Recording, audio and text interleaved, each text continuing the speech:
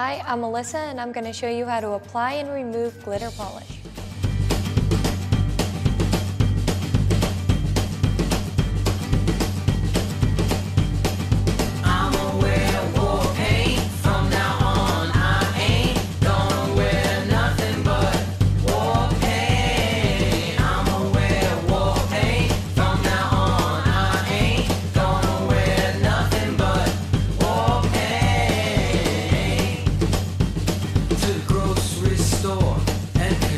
The colors on my face will be bright, bright, bright. I'ma wear war paint. From now on, I ain't gonna wear nothing but war paint.